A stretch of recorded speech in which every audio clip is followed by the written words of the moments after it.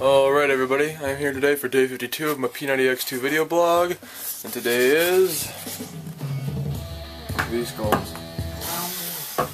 Back to the bottom, and then. Good, again. Over and around. I don't like it. Go back. Eight. See if I do like it. Nine. Oh, Hold on. Alright, how you doing, Kogan? You're crunching. Three, flex your quads. Four, stand up tall.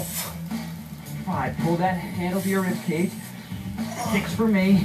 So he's arms the back. See a little, little uh, Superman action there. These le- flex the quads. Flex your knees. Nice. Alright everybody, that was day 52, V-Sculpt. Pretty good workout. A lot of curls and a lot of pull-ups. Pull-ups I suck at, so just uh, getting used to that.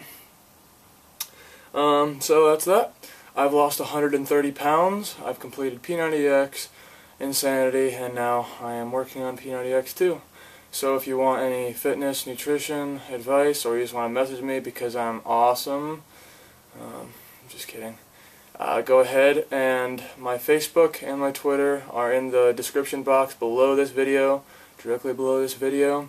And uh, also my link to my 130 pound weight loss transformation video is going to be in the description box below this video. So go ahead and add me on Facebook and message me and I can get back to you real, real simple.